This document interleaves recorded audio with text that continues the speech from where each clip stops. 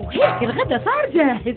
بقدر أروح للسطحية قبل ما يرجع أبو رعد والولاد جنني جنني يا أم رعد. بده يضل جنبي على طول.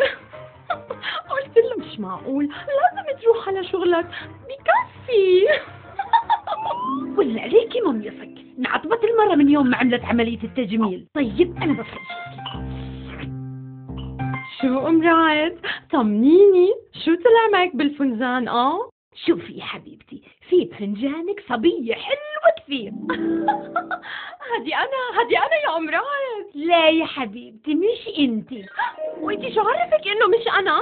قصدي هاي شكلها عدم المؤاخذة أضعف شوية كثير. قلت لك رجال ما عليهم أمان. إلا زوجي حبيبي تاج راسي أبو أولادي. آخ مش كاينة أعرف مين هاي اللي ما بتستحي على حالها يا أم رعد ما تسمي بدنك يا حبيبتي. مصيرة ينكشف على حقيقته وتعرفيها. ام رعد عرفتها. قلت لك هذه أنا بس بعد عملية شفط الدهن.